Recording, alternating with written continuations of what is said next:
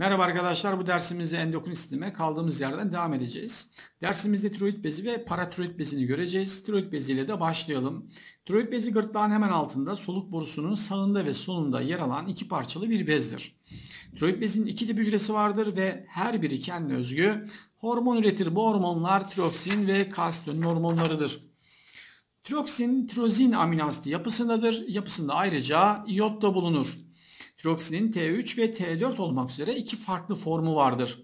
T3 formunda 3 iyot bulunurken T4 formunda 4 iyot bulunmaktadır.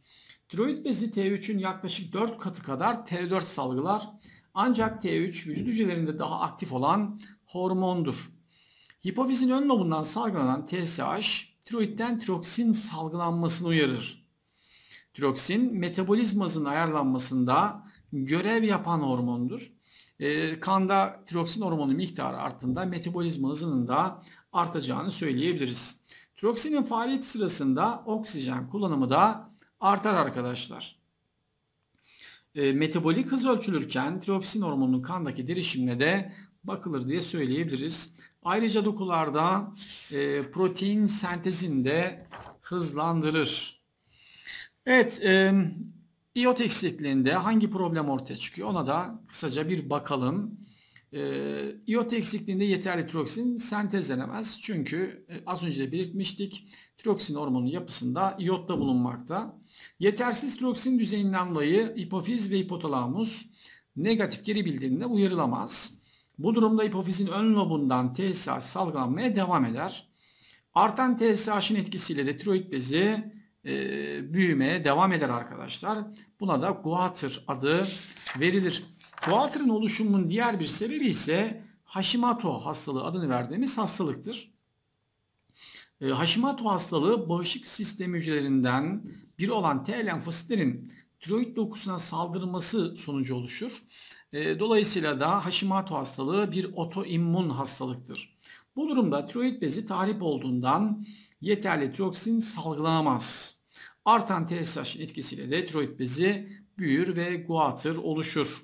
Bu durumda metabolizma hızı düşer, şişmanlık görülür, yine üşüme hissi görülür e, ve yine kıl dökülmeleri de görülür diye söyleyebiliriz. Tiroksinin aşırı salgılanması durumunda ise Graves hastalığı adını verdiğimiz hastalık görülür. E, bu durumda metabolizma normalden fazla hızlanır, kilo kaybı oluşur, kalp atışları hızlanır, vücut sıcaklığı artar. Vücut sıcaklığı artışına bağlı olarak da terleme artar. Sinirlilik görülür. Gözlerin arkasında sıvı birikmesi nedeniyle gözlerin dışarı doğru çıkması görülür diye söyleyebiliriz. Evet küçük yaşlarda tiroksin eksikliğinde kretinizm yani ahmaklık hastalığı adını verdiğimiz hastalık görülür.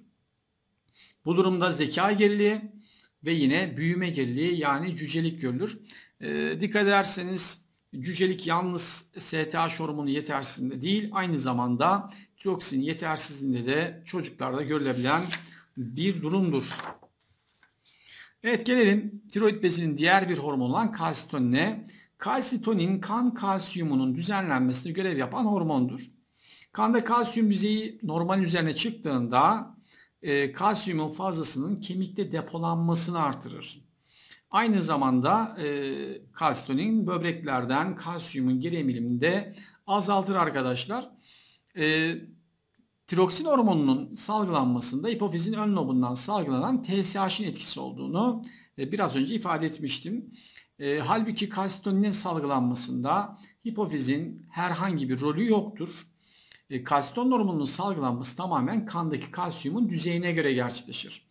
Kanda kalsiyum seviyesi normalin üzerine çıktığında e, tiroid bezi uyarılır ve tiroid bezinden kana kalsitonin hormonu salgılanır.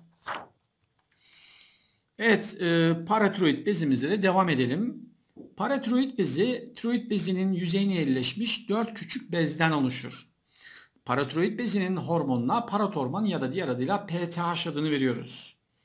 Paratormon kalsiyumun kemiklerden kana geçişini, fosforun ise böbreklerden atılmasını sağlar. E, kalsitonin hormonunun salgılanmasında hipofizin herhangi bir rolü olmadığını ifade etmiştim. Aynı şekilde paratormonun da salgılanmasında hipofiz bezinin herhangi bir rolü yoktur arkadaşlar.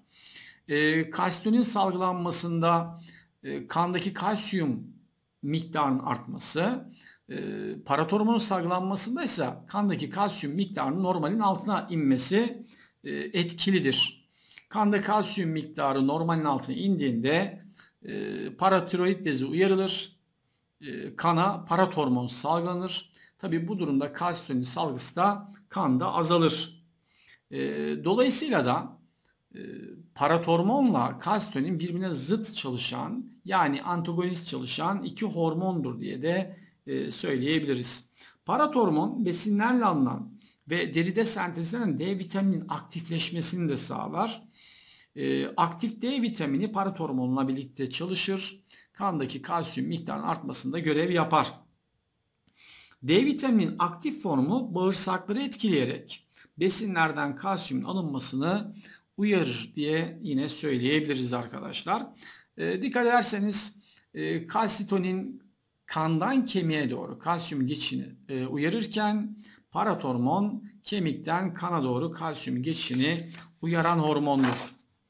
Paratormon eksikliğinde kanda kalsiyum azalır. Bu durumda kaslarda ağrılı kasılmalar ve titremeler görülür. Yani tetani hastalığı ortaya çıkar. Paratormon miktarı aşırı artarsa bu durumda da böbrek taşı oluşumu görülür. Böbrek taşı oluşumu sırasında e, arkadaşlar kalsiyum kemikten e, kana geçer. Kanda kalsiyum oranı aşırı artar.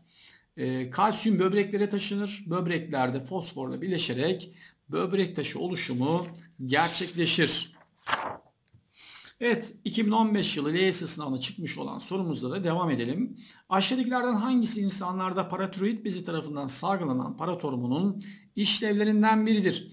E, paratormonun görevinin kemikten kana kalsiyum geçişini sağlamak olduğunu ifade etmiştik.